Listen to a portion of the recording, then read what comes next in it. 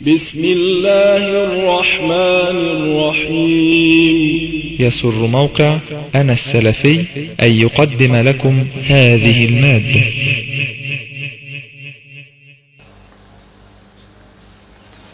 الحمد لله وأشهد أن لا إله إلا الله وحده لا شريك له وأشهد أن محمدا عبده ورسوله صلى الله عليه وآله وسلم. أما بعد ذكرنا أن الإكراه يصح بفوات بتفويت الحاصل التهديد بتفويت الحاصل في النفس وفي المال وفي الجاه. وذلك تفويت الحاصل في النفس بالضرب والألم الشديد التعذيب الشديد وكذلك السجن بما يدخل الضيق على المسجون والمحبوس. وكذلك قطع الأعضاء والتهديد المحقق بالقتل الوعيد المحقق الذي يغلب على الظن حصوله كما ذكرنا. وفي المال بهدم المنزل أو أخذ المال أو سلب الثياب أو نحو ذلك مما يكون فيه إفساد المال الذي بحوزة الإنسان. وأما الجاه فبما يعد إهانة لصاحبه وإسقاط جاهه وحرمته بين الناس وإن لم يكن مؤلما ألما ماديا. لكن هذا الأمر اختلف باختلاف الأشياء المكره عليها ونوع الإكراه الذي يستعمل في حقه. قد ذكرنا أيضا في المرة السابقة أن خوف امتناع المنتظر في هذه الثلاثة وفي العلم في أمر العلم أعني أنه خاف يخاف إذا لم يستجب لطلب المكره يخاف على خاف منه مثلا ألا يعالجه من مرض أو لا يطلقه من حبس أو يخاف أن لا يعطيه مالا يريده هو في المستقبل. أو يخاف أن لا تكون له منزلة عنده. يستعمل هذا الجاه وهذه المنزلة فيما يحتاج إليه مستقبلا. في العلم يخاف إن لم يستجب له أن لا يعلمه. فقلنا أن خوف امتناع المنتظر ليس بإكراه معتبر لأن الإكراه هو في تفويت الحاصل. لا في خوف امتناع المنتظر لأن الإنسان يعيش بدون هذا المنتظر. إلا ما اشتدت إليه الحاجة أو وصل إلى حد الضرورة كالجوع الشديد مثلا والطعام ليس بحاصل. هو الآن ليس عنده طعام. يخاف إن لم يستجب أن لا يعطيه الطعام أو لا يجعله يعمل عنده فيكتسب المال الذي يأتي به بالطعام والمأوى والكسوة لنفسه أو لأولاده. فإذا خاف الجوع أو العري على نفسه أو من هم قريبون منه فإن شدة الحاجة في هذه الحالة تعد تجعل من ترك من من خوف فوات امتناع المنتظر من خوف امتناع المنتظر مثل فوات الحاصل في كونه إكراه. عنده مثلا ألم شديد الآن هو مريض يتألم ألما شديدا. لو لم يستجب لمن يعالجه مثلا لتركه في ذلك الألم. هذا في الحقيقة من خوف امتناع المنتظر لكن مع شدة الحاجة أصبح في حكم بل هذا قد يصل إلى الضرورة. من شدة الألم يصل إلى حكم فوات الحاصل كأنه يضربه كأنه يضربه. لو تركه في ألم كأنه يضربه كأنه يعذبه. فإذا كان الألم قريبا في الحالين فالحكم واحد في الحالين. ومن هنا جاز استعمال المحرم قطعا كالخمر في إساغة الغصة خوفا من فوات الحياة خوفا من فوات الحياة. وهو هي الآن غصة تسد نفسه يخاف ألا يأخذ نفسه في المرة القادمة فتفوت حياته فجاز له أن يسيغها بالخمر. ومن هنا جاز أن يأكل الميتة وأن لسد جوعه مع أن هذا الأمر في أمر يعد في في الحقيقة من من خوف امتناع المنتظر حيث أنه ينتظر طعاما أو ينتظر أن يعطى ما يأتي به بطعام فيعجز عن ذلك فإذا خاف على نفسه جاز أن يستجيب لمن طلب منه ذلك. لكن كما ذكرنا هذا كله يختلف باختلاف حكم المكره عليه. قال شيخ الإسلام ابن تيمية رحمه الله تأملت المذاهب فوجدت الإكراه يختلف باختلاف المكره عليه. فليس الإكراه المعتبر في كلمة الكفر كالإكراه المعتبر في قبول الهبة ونحوها. فإن أحمد قد نص في غير موضع أن الإكراه على الكفر لا يكون بالتعذيب لا يكون إلا بالتعذيب من ضرب وقيد ولا يكون الكلام إكراها. لا يكون الكلام يعني التهديد فقط دون أن يستعملوا الضرب. وهذا في الحقيقة يعني في مسألة الإكراه على النطق بما يعتقده الإنسان كفرا. وإلا فالكلام فقط الإمام أحمد شدد في هذا وهذا مذهبه في هذه المسألة.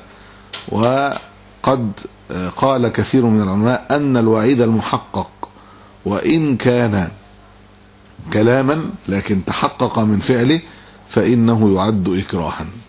لا يلزم أن يباشر الضرب ابتداء حتى يقال هو مكره أو يباشر الحبس ابتداء حتى يقال هو مكره. لكن هذا الكلام يعد في اختلاف المكره عليه. نعم وصدق شيخ الإسلام في كون الإكراه على قبول الهبة. يختلف. يمكن أن يكره بضربة على الوجه مثلا بلطمة أو بضربة خفيف ألمها في الضرب على أن يشرب كوبا من الليمون. يخاف أنه إن أبى أن يشرب ضرب ضربا خفيفا. هذا الكلام يختلف يكرهه على شرب شيء بخلاف يقبل الهبة منهم من ظالم مثلا. لو أنه أبى أن يقبل الهدية لقال إذا هو لا يستحل مالي. هو إذا يعتبرني ظالما فيكرهه على ذلك بنوع من الأذى.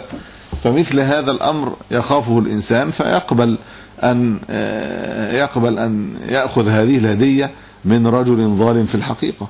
وهو لا يريد أن يأخذها منه ولا يريد أن يكون له منة عليه فيها لكن الإكراه بأخذ شيء من المال مماثل سوف يظلمه بأخذ ماله. يختلف عن الإكراه المعتبر في في كلمة الكفر. لا شك أنه لو قيل له إما أن نشد أذنك وإما أن تنطق بكلمة الكفر. يقول لا لا أنا ما أقدرش أشد الأذن لا أحتمل ينطق بكلمة الكفر من أجل ذلك. لا مجرد أن يحبسوه ساعة أو يقولون له أو أن يقولوا له أرنا بطاقتك مثلا.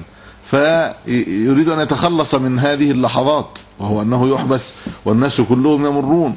فيسب الدين مثلا أو يتكلم بالكفر ويقول لهم أنا نصراني أنا مش مسلم. والله العظيم ما بصلي يا به ما بركعهاش من أجل أن أن يتخلص من أن يوقف من أجل أن يسأل مثلا عن اسمه. لحظات معدودة. هذا حبس في الحقيقة. إيقاف ده حبس بس مدة إيه؟ دقائق مثلا. فمثل هذا لا يبيح له أن يطعن في الدين أو أن يتبرأ من طاعته لله عز وجل أو من صلاته. من في مثل هذا. فمع أن هذا يمكن أن يكون عذرا في شيء أهون في كما ذكرنا قبول الهبة أو أن يهب غيره إذا قيل له لن تمر من هنا حتى تعطي هذا الرجل شيئا إكرامية فمجرد الوقوف مدة في مثل هذا أو تأخير الورق يعد نوع من الإكراه على أن يهب هذه الإيه؟ الهبة الظالمة التي لا يجوز في الحقيقة للآخذ أن يأخذها لأنها كانت بنوع من يعني الأذى لصاحب هذه الحاجة. والله أعلى وأعلم. مما يتعلق بالمسألة كلام القرطبي أيضا حيث قال أكره يوسف عليه السلام على الفاحشة بالسجن وأقام خمسة أعوام. على بعض ما روي قد قال الله عز وجل فلبث في السجن بضع سنين. هذا القدر كم كان البضع؟ من ثلاث إلى عشرة لا ندري على التحديد. إلا أنه اعتمد على الآثار المنقولة عن أهل الكتاب في تحديد هذه المدة ولا فرق في المسألة. قال وما رضي بذلك لعظيم منزلته وشريف قدره.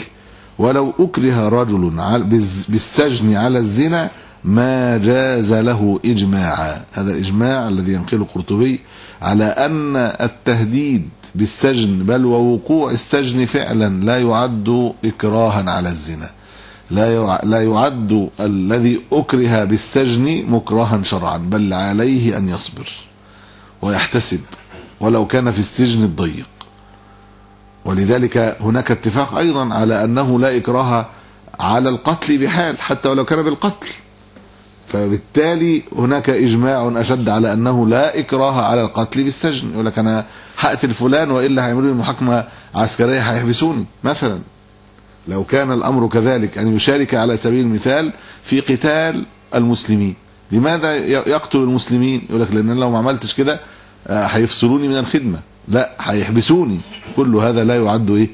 إكراها لأن المكره عليه هنا هو سفك دم المرء المسلم أو كذا الزنا بمسلمة أو حتى الزنا بكافرة. لو كانت كافرة حربية لا عصمة لها. أو مسلمة تكرهه هي على الزنا لكن بغير تعذيب إنما بالسجن. إجماعا لا يجوز له ولو كان سنين.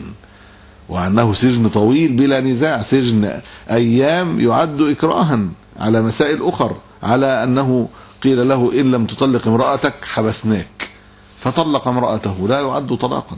هذا معذور.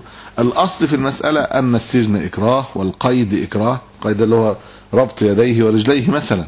والضرب إكراه والتهديد بالقتل إكراه. التعذيب لا شك أنه ضرب مضاعف. أو قطع الأعضاء أشد من الضرب ومن الحبس. فالأصل أن هذه إكراه إلا ما ثبت استثناؤه كما ذكرنا أن النطق على بكلمة الكفر لا يصح بالضربة الخ- الخفيف ألمها ولا يصح بالحبس اليسير الذي لا يعني يحصل بسببه ضيق شديد. وكذلك لا يكون السجن إكراها على الزنا ولا على قتل مسلم ولا على انتهاك حرمته. قال ولو أكره رجل بالسجن على الزنا ما جاز له إجماعا فإن أكره بالضرب فقد اختلف فيه العلماء والصحيح أنه إذا كان فادحا يبقى أي ضرب عشان يكره على الزنا؟ وعلى الزنا بمين زي ما قلنا؟ الزنا بغير معصومة. بغير معصومة يعني ليس فيها انتهاك الحرمة كحربية أو أنها هي التي أسقطت حرمتها هي التي تكرهه على الزنا. لما أما إذا كان على انتهاك حرمتها امرأة عفيفة طاهرة مسلمة ولو أو امرأة حتى ذمية عفيفة فلا يجوز أن يكره على الزنا ولو بالسجن فامرأة العزيز كانت امرأة على الظاهر كافرة ليست لم يثبت إسلامها. امرأة العزيز على دين قومها. والله أعلم. حتى ولو كانت فهي التي تكرهه فهي ساقطة الحرمة وما رضي يوسف بذلك لعظيم قدره كما ذكر.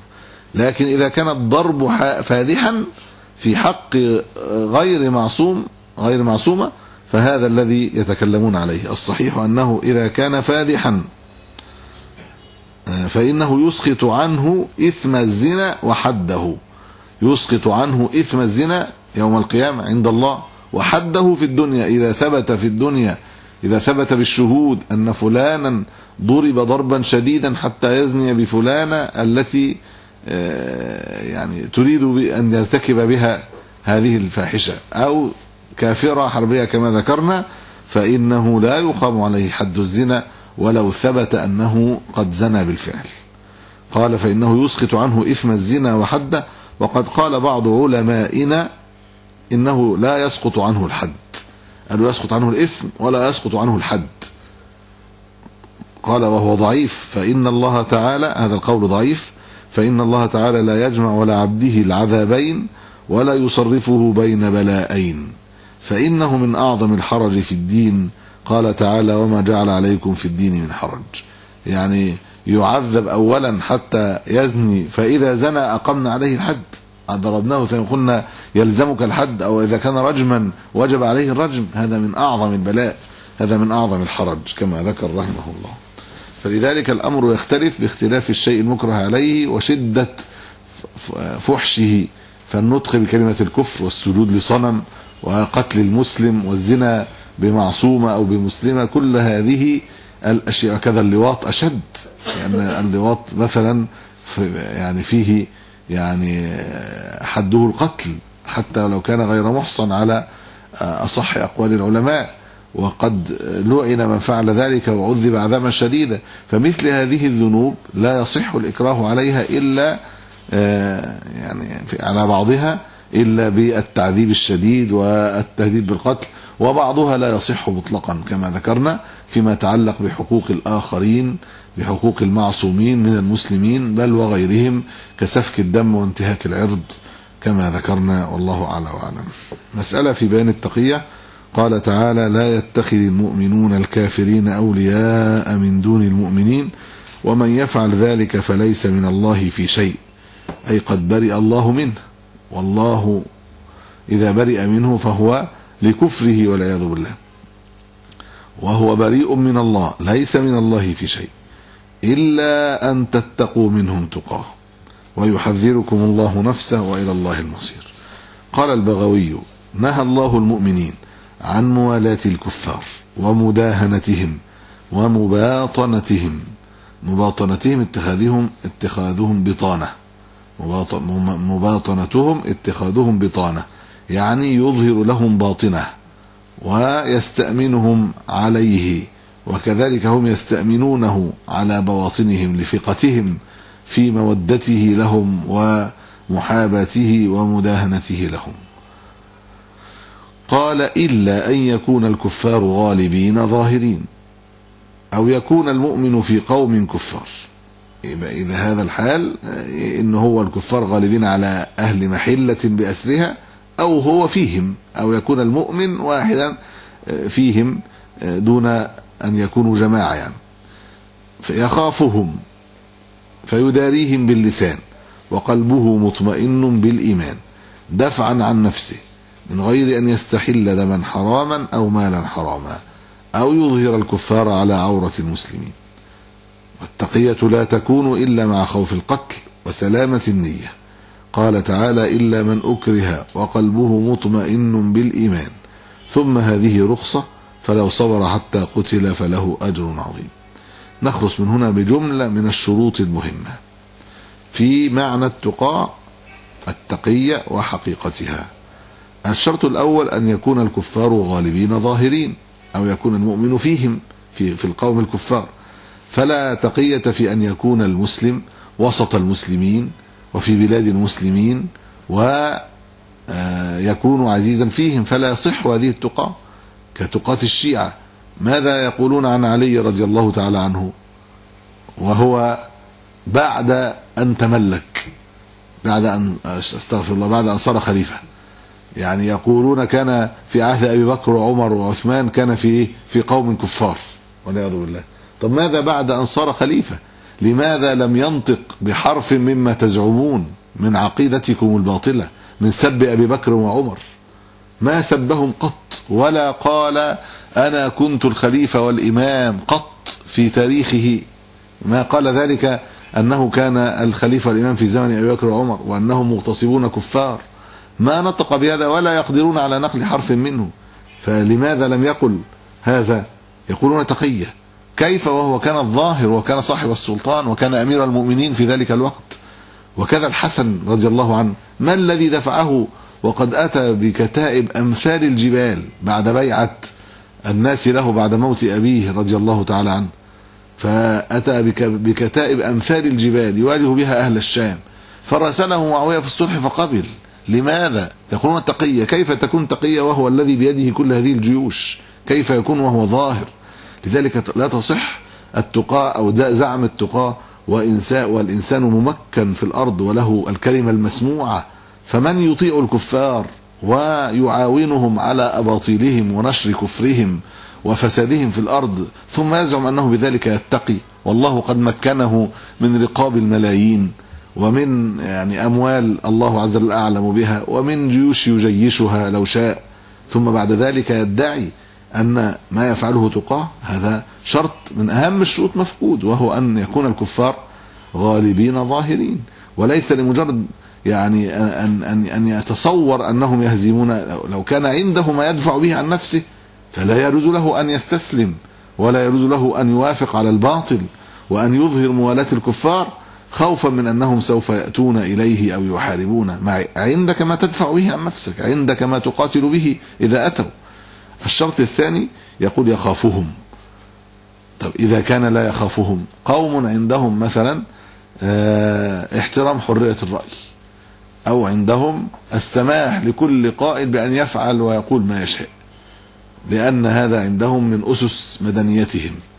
فلا يجوز أن توافقهم على الباطل والكفر وتزعم أنك تفعل ذلك إيه؟ تقية. فهم أنت لا تخافهم. لو قلت لهم أنتم كفار في ديننا فهو لا يعترض عليك ولا يؤذيك بسبب ذلك.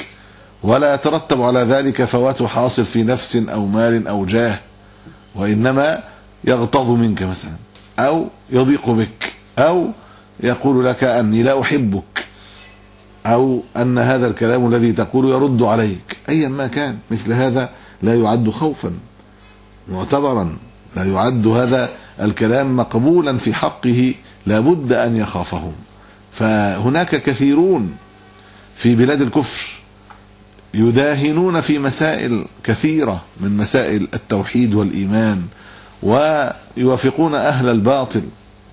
بل العجب أني علمت أن عندما طالب أحد كبار القساوسة رؤوس الكنيسة الإنجليزية رأس الكنيسة الإنجليزية اللي هي البروتستانتية بأن يطبق تطبق الشريعة الإسلامية على المسلمين الذي اعترض عليه نائب مسلم في البرلمان البريطاني. أنه أحد الأعضاء قالوا لا أن هذا سيزيد من عزلة المسلمين في عن المجتمع البريطاني. ونسأل الله العافية. فمثل هذا مداهنة فظيعة. أنت لا تخافهم. إذا كان الرجل هو الذي يقول إن ده حل من ضمن حلول المشاكل لهذه الطائفة. فأنت مداهنة في مزيد من الذوبان في المجتمع الكافر. تقول تعترض على تطبيق شرع الله سبحانه وتعالى؟ وتقول أن المصلحة تقتضي أن يظلوا خاضعين للقوانين الإنجليزية؟ نعوذ بالله من ذلك. وكم من مسائل ليس فيها خوف ولكن فيها مجرد مصالح معتبرة ك يعني بعض المجالس يعني البرلمانية برلمان تركيا أقر إلغاء تجريم الزنا في تركيا من أجل أن يوافق البرلمان الأوروبي على الدخول تركيا في الاتحاد الأوروبي مثلا. فمثل هذا أين الخوف؟ يفعلون ذلك مع أننا نجزم أن كل من النواب ال ال الإسلاميين كما يسمونهم لا يريدون ذلك ولا يرون إباحة الزنا ولكن نطقوا بهذا ووافقوا على هذا الكفر والعياذ بالله من أجل أن يحققوا مصالح. فليست هذه بالتقاة ولا بالإكراه مجرد تحقيق مصالح اقتصادية مثلا. مجرد تحقيق مكاسب مادية للدولة مثلا يفعل بها ذلك؟ مثل هذا الكلام من أفسد الكلام. لابد أن يكون هناك إيه؟ خوف. فيكون الكفار غالبين ظاهرين المسلم في قوم كفار ظاهرين يخافهم على نفسه أو على أهله وعياله. لا يسعه لمجرد تحقيق المصالح لا يسعه لمجرد أنه يريد مكاسب معينة. أن يوافقهم ويداهنهم ويتخذهم أولياء باللسان فضلا عن القلب مع عدم خوفه. الشرط الثالث أن المداراة تكون باللسان. التقية تكون باللسان من غير فعل.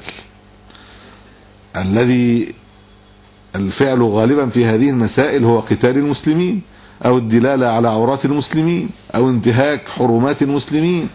فهذا لا يصح له. التقاه في هذا الباب هي من مثل الإكراه. هي مثل الإكراه في هذا في أنه لا يجوز أن يكون هناك إكراه على انتهاك حرمة مسلم ولا قتال المسلمين ولو قتل فضلا أن يكون يتقيهم في بعض الأمور التي هي أدنى من القتل. فإذا إنما تكون التقاة بالمداراة باللسان. الشرط الرابع قلبه مطمئن بالإيمان. إذا لو كان يوافقهم وقد صار يرى باطلهم حقا. قلبه غير مطمئن بهذا الدين بل يقول لهم كما يقول بعض الزنادقة المنافقين بل الكفرة المرتدين أن الأديان التي هم عليها أديان صحيحة ثابتة وأنه لا فرق بينها وبين الإسلام وأن الإسلام لم ينسخها وأن تكذيب الرسول صلى الله عليه وسلم لا يقدح في توحيدهم لله أو في إيمانهم بالله. ونعوذ بالله من ذلك. هناك من يقول لهم أن تكذيب الرسول صلى الله عليه وسلم مسألة آه، ليست من مسائل الكفر. يقول الخلاف بيننا وبينهم في مسألة الرسول وهذه لا تصل إلى الكفر. مداهنة والعياذ بالله يجوز لهم أن يكون أحدهم مؤمنا مع مع كفره بالرسول صلى الله عليه وسلم وتكذيبه للرسول صلى الله عليه وسلم وتكذيبه للقرآن العظيم. نعوذ بالله. إذا إذا كان قلبه غير مطمئن بالإيمان لم تصح التقاة عذرا له بل يكون منهم برئ الله منه وهو بريء من الله يقول دفعا عن نفسه يعني. إنما يفعل ذلك اضطرارا على قدر الضرورة الشرط الخامس أن تكون التقاة على قدر ما يدفع به شرهم عن نفسه فلا يتجاوز ما لا يحتاج إليه في ذلك. كما ذكرنا مثل من أنه آه، علم أنهم يعني يحبسون أصحاب اللحى فبادر إلى حلق لحيته بل وأمسك بالسيجارة وسب الدين الذي أمامه. ما الذي دفعه إلى ذلك؟ يقول لك أعمل أنا عايز خايف منهم خايف فعلا وهم ظاهرين. لكن ألا يدفع عنك هذا الخوف بعض ما فعلت فقط؟ حتى ترتكب هذه الجرائم المتعددة؟ وتكفر بالله سبحانه وتعالى؟ وما طلبوا منك ذلك؟ بل أدنى منه يدفع عنك. فلماذا تدفع تستعمل الضرورة في غير يعني موضعها؟ فلا بد أن يكون في الدفع عن نفسه بالقدر الذي يدفعه نفسه لأن هذا مثل أكل الميتة بل وأشد. مداهنة الكفار وموالاة الكفار. لا يجوز أن يفعل ذلك بالزيادة على ما طلبوه يعني إنسان يعيش في بلاد الكفر. يشعر بأنهم يضطهدون المسلمين. لو أنه مثلا ظل على تمسكه بالهدي الظاهر. فخافهم على نفسه إنهم كل من مع إن هذا مش حاصل. انه كل من تمسك بالهدي الظاهر أمسكوه مثلا. في بعض البلاد الإسلامية يمكن ذلك.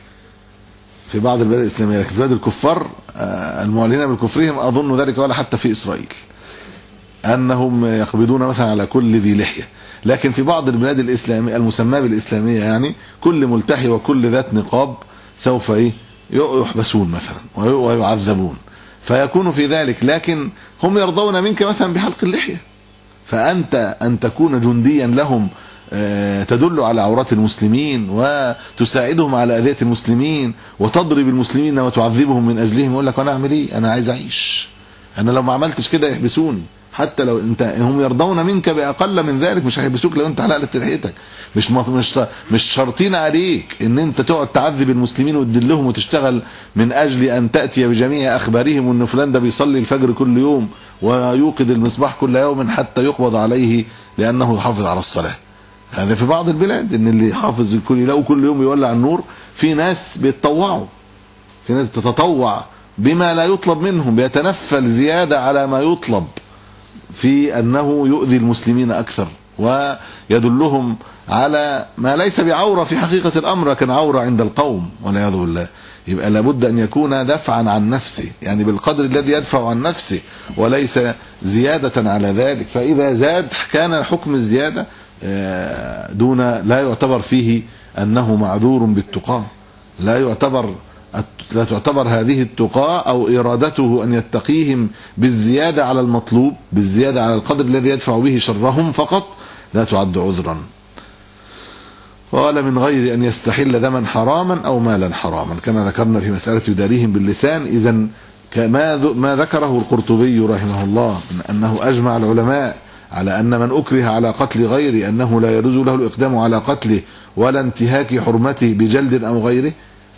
هذا الإجماع ذكره أي ذكر مثله البغوي رحمه الله ذكر مثل حكم المسألة في أنه لا يستحل دما حراما ولا مالا حراما. وقد سبق كلام الحسن نحو ذلك حيث قال التقية جائزة للمؤمن إلى يوم القيامة إلا أن الله تبارك وتعالى لم يجعل في القتل تقية. ما فيش حاجة اسمها أنا أتقي الكفار بأن أقتل المسلمين أو أن أكون مشتركا في الحرب ضد الإسلام وأهله. نعوذ بالله. إذا لا يستحل دما حراما ولا مالا حراما.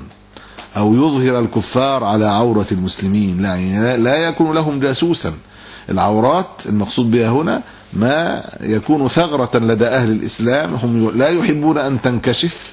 أمر لا يحب المسلمون أن ينكشف. نقطة ضعف. سوف يتسلط الكفار من خلالها فعند ذلك لا يجوز أن يدلهم على عورات المسلمين. قال والتقية لا تكون إلا مع خوف القتل. يعني يشدد البغوي ذلك إن التقية المعتبرة أنه يخاف أن يقتل. ومثل ذلك في الحقيقة يخاف أن يعذب كما ذكرنا أو يخاف أن يحبس. حبسا يحصل معه الضيق لأن الشروط الأخرى هي في الإكراه كما ذكرنا كما ذكرناها في الإكراه تذكر هنا في التقية. سلامة النية اللي هو قلبه مطمئن بالإيمان يكرر هذا الشرط مرة ثانية. قال تعالى إلا من أكره استدل بدليل الإكراه على التقية في نفس الأحكام. ثم هي رخصة فلو صبر حتى قتل فله أجر عظيم وذلك لصبر بلال رضي الله عنه ولأن بلالا كان أفضل من عمار في صبره. فكان يعني محمودا على فعله في ما صبر على تعذيب الكفار له وإغاظتهم له وهوان نفسه على عليه في الله عز وجل. هانت عليه نفسه في الله سبحانه وتعالى فكان في ذلك أفضل وأعلى قدرا وهذا أمر متفق عليه بين العلماء من أن التقاة رخصة ولا يلزمه أن يأتي بها. فمن أكره على النطق بكلمة الكفر فأبى ولو قتل. فقد قال كلمة حق عند سلطان جائر فقتله فهو من خير الشهداء. ولكن الرخصة ربما يجب الأخذ بها إذا تعلقت بآخرين لا يرضون بالعزيمة.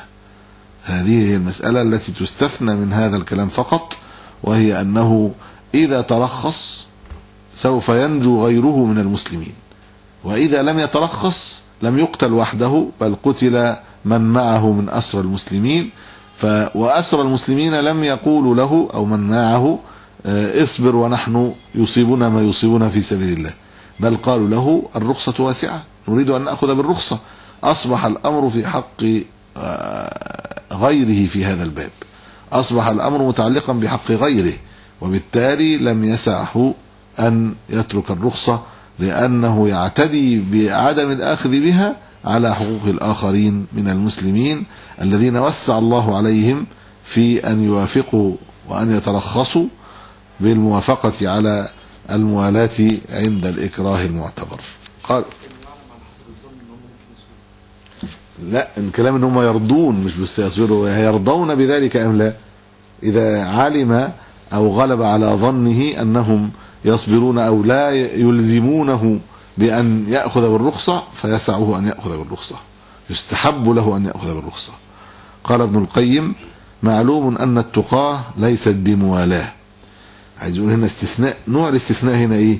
إلا أن تتقوا منهم تقاه. هل هي استثناء متصل بمعنى التقاة موالاه؟ مستثناة من أحكام الموالاه؟ بيقول ليست موالاه ولكن لما نهاهم عن موالاة الكفار اقتضى ذلك معادتهم والبراءة منهم ومجاهرتهم بالعدوان في كل حال. إلا إذا خافوا من شرهم فأباح لهم التقية وليست التقية موالاة لهم. الحقيقة إن الظاهر مع أن هذا الكلام يعني كأن ابن القيم يرى أن هذا في الترك لا في الفعل. أن التقاة تكون في الترك فقط وليس في الفعل. أنا أترك إظهار العداوة. أنا أترك المجاهرة بالعداوة فمن هنا أنا أترك إظهار المخالفة وأنا أخالفهم. هل يمكن في التقاه أن يظهر الموالاة؟ الصحيح أنه إذا خاف القتل جاز إظهار الموالاة ويكون الاستثناء متصلا. لكن مبنى التقاء في الأغلب ما ذكره ابن القيم وهو أنها في ترك إظهار العداوة وترك إظهار المخالفة. ترك الجهر بمخالفتهم. نقول ولأن باب التقاة باب يمكن أن ينفذ منه الشيطان بسهولة. يزين للضعفاء ومرضى القلوب أن يركنوا إلى أعداء الله. قال بعدها سبحانه وتعالى مباشرة ويحذركم الله نفسه وإلى الله المصير. يحذركم في الدنيا أن تتخذوا هذا الباب تكئة وتستسهلوا هذه الكبيرة وهي موالاة أعداء الله. وينذركم أن إليه المصير فيجازيكم على ما فعلتم في الدنيا فلا تحسبوا أن ترتكبوا هذه الكبيرة في الأرض مخادعين أنفسكم أو مخادعين الناس ثم تنجوا من عذاب الله في الآخرة. قال شهاب الدين القرافي في الاستغناء في أحكام الاستثناء إلا أن تتقوا منهم تقاه تقديره لا تفعلوا ذلك في حالة من الحالات إلا في حالة الاتقاء. وهذا ظاهر في أن الاستثناء متصل كما رجحنا. قال ابن جرير الطبري في جمع البيان في تفسير قوله تعالى إلا أن تتقوا منهم تقاه أي إلا أن تكونوا في سلطانهم. نفس كلام البغوي وهو أن يكون الكفار إيه؟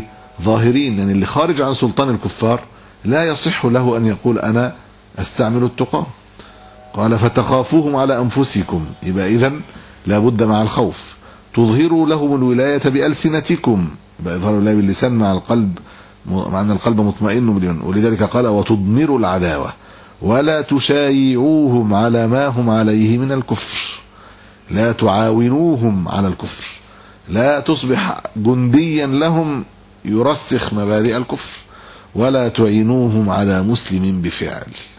إذا التقى باللسان دون أن يكون هناك إعانة على مسلم في دمه أو في عرضه أو في ماله بفعل من الأفعال. إلا أن المال قد ذكرنا فيه وجها إذا كان يقدم حفظ نفسه على مال أخيه. قيل له إن لم مثلا تقطع شجرة أخيك هذه قتلناك. مثلا إن لم تفسد ماله قتلناك. فالظاهر والله أعلم أنه يجوز له الإقدام على ذلك مع دون نفس المؤمن ويضمن له ذلك فيما بعد. ذكر الشيخ محمد بن عبد الوهاب رحمه الله في هذا الباب باب تفسير التوحيد وشهادة أن لا إله إلا الله الآية الثالثة أول آية كانت إيه؟ باب تفسير التوحيد ده متضمن قلنا لإيه؟ لأربع مسائل مش كده؟ ذكر عليها أربع آيات أول آية كانت إيه؟ الدعاء اللي هي قول الله تبارك وتعالى قل ادعوا الذين زعمتم من دونه فلا يملكون كشف الضر عنكم ولا تحويلا. أولئك الذين يدعون يبتغون إلى ربهم الوسيلة أيهم أقرب ويرجون رحمته ويخافون عذابه. إن عذاب ربك كان عظيما الآية اللي هي مسألة الشرك في الدعاء. الشرك المتعلق بدعاء الصالحين والملائكة والأنبياء من دون الله عز وجل. الشرك المتعلق بالغلو في الصالحين. النوع الثاني كان قضية الولاء البراء من المشركين. ده كلمة تفسير التوحيد. يعني التوحيد لا إله إلا الله دي تعني إن أنا أترك الشرك. أنه شرك؟ الشرك الأولاني اللي هو في الإيه؟ في الدعاء. الشرك الثاني المتعلق بالولاء والبراء. ولذلك استدل عليه بقول الله آه وإذ قال إبراهيم لأبيه وقومه إنني براء مما تعبدون إلا الذي فطرني. وجعل هذه الموالاة لله وهذه البراءة من الشرك وأهله. هي مقتضى شهادة لا إله إلا الله. ده دليل عن إن الشيخ بي... الشيخ رحمه الله بيذكر أنواع الشرك المنتشر في العالم. ولذلك بيقول لا إله إلا الله كلمة لا إله إلا الله تعني ترك هذه الايه الأنواع من الشرك. ذكر النوع الثالث وهو المتعلق بقضيه الحكم مسألة وجوب الحكم ما أنزل الله وتحريم الحكم بغير ما أنزل الله وأن الحكم بغير ما أنزل الله من الشرك فذكر قوله تعالى اتخذوا أحبارهم ورهبانهم أربابا من دون الله والمسيح ابن مريم. وما أمروا إلا ليعبدوا إلها واحدا لا إله إلا هو سبحانه عما يشركون. القضية أساسا ذكرت في القرآن في كل المواطن ليس بلفظ المعصية وإنما ذكرت بلفظ الشرك والكفر. لأنها من مقتضيات التوحيد. هذه مسألة. قد ذكر الله ما فعله هؤلاء فسماهم اتخذوهم أربابا. وسوى بينهم وبين اتخاذهم المسيح ربا. ذكرهما في سياق واحد. مع أن اتخاذهم المسيح ربا هو من باب اعتقاد أنه الرب الخالق المحيي المميت. والعياذ بالله أنه تجسد الرب في هذا الجسد ونزل وعاش في الناس والعياذ بالله. واتخاذهم الأحبار والرهبان لم يكن بهذه الدرجة وإنما كان بأن اتبعوهم في تبديل التشريع في تبديل شرع الله. عن عدي بن حاتم رضي الله عنه قال أتيت النبي صلى الله عليه وسلم وفي عنقي صليب من ذهب. قال فسمعته يقول اتخذوا أحبارهم ورهبانهم أربابا من دون الله. قال قلت يا رسول الله إنهم لم يكونوا يعبدونهم. قال أجل. ولكن يحلون لهم ما حرم الله فيستحلونه ويحرمون عليهم ما أحل الله فيحرمونه فتلك عبادتهم لهم. الرواية بلى. بلى كانوا يعبدونهم. بلى كانوا يعبدونهم. يحلون لهم ما حرم الله فيستحلونه يرون لهم حق التحليل والتحريم والتشريع من دون الله. فهذا لا شك من الكفر. وقد ذكر الله عز وجل فقال وما أمروا إلا ليعبدوا إلها واحدا. إذا هم عبدوا الأحبار والرهبان. اتخذوهم أربابا حين اعتقدوا لهم ذلك وعبدوهم حين اتبعوهم على ذلك. ذلك هذا الباب يشمل نوع أنواع الشرك في الأسماء والصفات وفي الربوبية وفي الألوهية. في الأسماء والصفات لأن الله هو الحكم إن الحكم إلا لله. الله عز وجل من صفاته أنه الذي يحكم. ولذلك غير النبي عليه الصلاة والسلام كنية أبا الحكم إلى أبا شريح لأنه قال إن الله هو الحكم. فهذا من أسماء الله عز وجل. والأمر الثاني أنه في الربوبية لأن الله قال اتخذوا أحبارهم ورهبانهم أربابا وذلك لأن الرب هو السيد الآمر الناهي المطاع. فاتخذ اتخاذهم هؤلاء مشرعين من دون الله يبدلون شرع الله هو من الشرك في الربوبية. حتى ولو لم يتبعوه مجرد الاعتقاد أن يعتقد أحد أن لفلان أن يحلل ويحرم حتى ولو لغيره من الناس. كما يعتقد البعض مثلا أننا هنا نلتزم الشريعة وأما في بلاد الكفر فأحبارهم ورهبانهم من حقهم أن يبدلوا لهم والعياذ بالله. يعني أفظع من ذلك اللي, اللي بيقول نبيهم هم أحرار في بيقولوا بيستهزئوا بالمسيح. يقول لهم نبيهم هم حرين فيه. والعياذ بالله. كفر ده والعياذ بالله. هم حرين فيه. يعني هو زي ناس كتير يقول لك أنتوا هنا المفروض تحترموا قوانيننا المستمدة من الشريعة زي ما إحنا بنروح عندكم نحترم إيه؟ قوانينكم ونلتزم بالحلال والحرام اللي أنتوا عملتوه. كأنه يرى أن هذا الأمر من حق غيرهم من حق يعني من حق الأحبار والرهبان وغيرهم أن يحللوا ويحرموا لكن لغيرنا. يبقى من حقهم أن يكونوا اربابا على غيرنا. نعوذ بالله هذا من الكفر أيضا ونعوذ بالله من ذلك. في الربوبية. وأما في الألوهية فلأن الرسول سماه عبادة قال فتلك عبادتهم. اذا شرك في الإلهية. أيضا. ولذلك قال الله عز وجل وما أمروا إلا ليعبدوا الها واحدا. لا إله إلا هو سبحانه عما يشركون. قال ابن كثير رحمه الله وهكذا قال حذيفة بن اليمان وعبد الله بن عباس وغيرهما. إنهم اتبعوهم فيما حللوا وحرموا.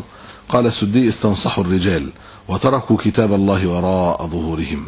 لهذا قال تعالى وما أمروا إلا ليعبدوا إلها واحدا. لا إله إلا هو. أي الذي إذا حرم الشيء فهو الحرام وإذا حلله فهو الحلال وما شرعه اتبع وما حكم به نفذ لا إله إلا هو سبحانه عما يشركون. من المعلوم أن قضية إفراد الله بالحكم وحده لا شريك له من أهم قضايا العقيدة وركن من أركان التوحيد ومخالفتها من أعظم أسباب الشرك على ظهر الأرض.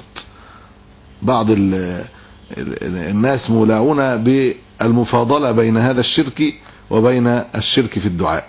فمنهم من قال الشرك في الدعاء هو الأصل والشرك الآخر نادر أو ليس بالدرجة الأولى وأن معنى لا إله إلا الله لا مدعو إلا الله في المقام الأول ولا يدخل وبعضهم لا يدخل قضية الشرك في الحكم في أنواع الشرك الأكبر أو في ما يعني ما تدل ما تدل عليه لا إله إلا الله من نفي الشرك كله.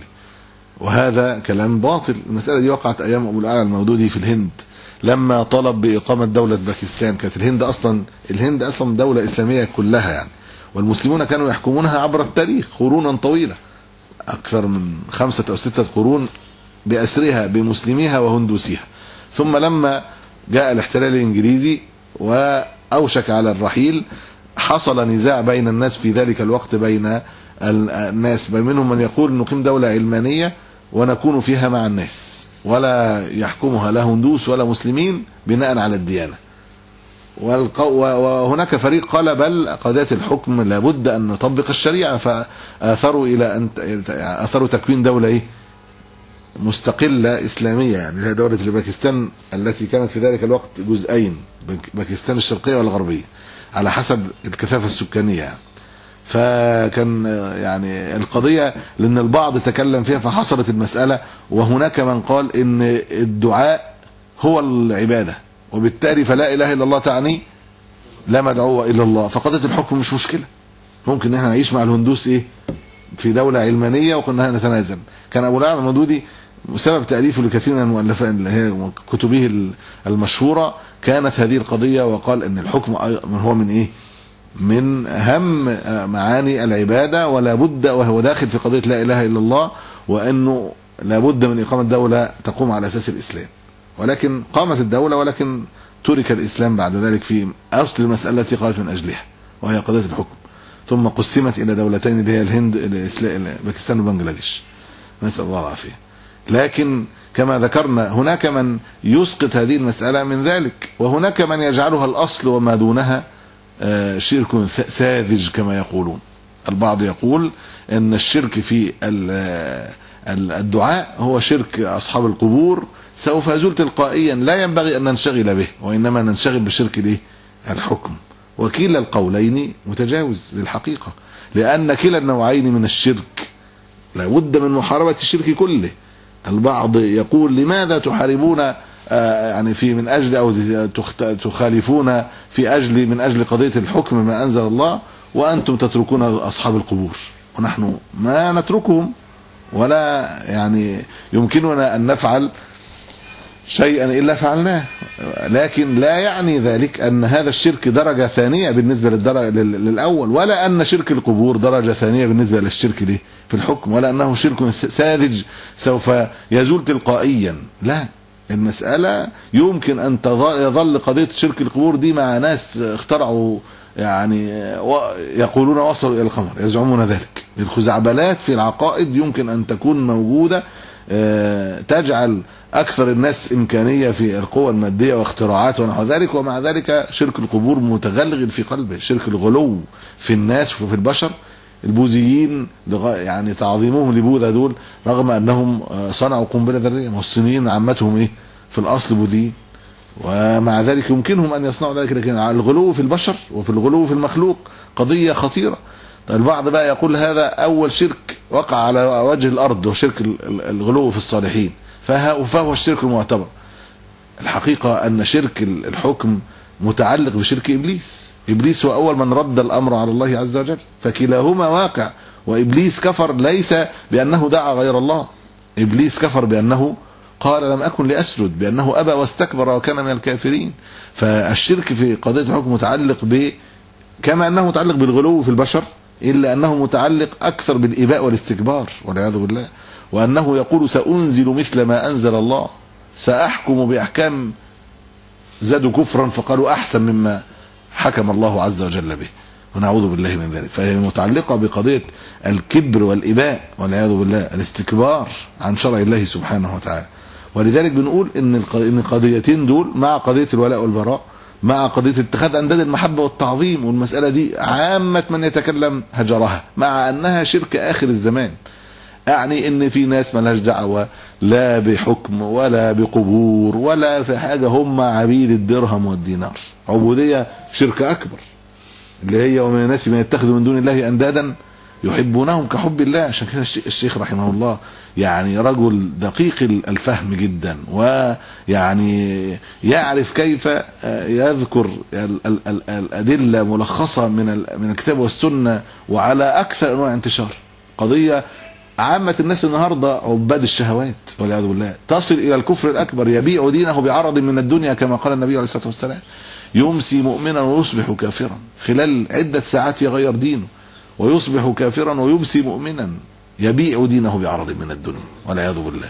قضية في منتهى الخطورة وإن كان الناس يقعدوا يتخانقوا على حاجات كثيرة جدا والناس التانية في لهو آخر والعياذ بالله. في إن هو الشهوة الجنسية دي حياته المخدرات حياته من أجلها يبيع دينه إن إن طلب منه ذلك. والعياذ بالله المال الوظيفة مستعد يبيع الدين من أجل هذه الشهوات. عبد الدرهم وعبد الدينار وعبد القطيفة وعبد الخميصة عبودية كاملة. بعض الناس بتكون عبودية شرك أصغر وبعضهم توصل شرك أكبر. إذا وصل إلى حد أنه مستعد للكفر إذا طلب منه ذلك. والعياذ بالله. وكثير من الناس يفعل ذلك. وأنت فكرك إن الذين يتخذون الكفار أولياء من كتر حبهم في في الكفرة. لا ده عشان الفلوس عشان الشغل عشان إحنا هنعمل إيه؟ إحنا مش لاقيين شغل إلا جنودا عند الكفرة. طب يحاربوا الإسلام؟ طب إيه يعني؟ مش مشكلة.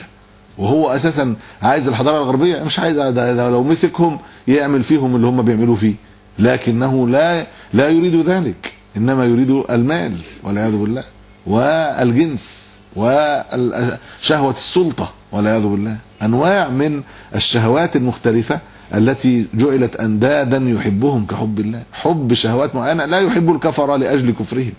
ولا لكن القضية عندهم ما ذكرنا. ذاك إن الأنواع الأربعة من الشرك هي أكثر الأنواع المتعلقة بشرك الألوهية وبعضها يتعلق أيضا بشرك الربوبية. بل عامة هذه الأنواع لابد فيها من الإيه؟ من الارتباط بين شرك الربوبية وشرك الألوهية. ذلك القضية خطيرة بلا شك. وهذا النوع اللي هو قضية افراد الله بالحكم من أهم قضايا العقيدة ومخالفتها من أعظم أسباب الشرك. وقد بينت هذه الآية الكريمة أن الحكم والتشريع والتحليل والتحريم من أخص معاني الربوبية كما سبق بيانها. وبين الرسول صلى الله عليه وسلم أن المتابعة على الحكم عبادة وأن التعبد لله بالتحكم إلى شرعه توحيد ومخالفة ذلك شرك. وككل قضايا العقيدة والتوحيد كثر ذكر هذه المسألة في كتاب الله عز وجل. كما كثر ذكر بيان الولاء والبراء مرات عديدة آيات كثيرة جدا. وكما كثر قضية الدعاء وأن دعاء غير الله أيضا من الشرك كثر أيضا بيان هذه المسألة كما سنبينها إن شاء الله. سبحانك اللهم وبحمدك أشهد أن لا إله إلا أنت أستغفرك.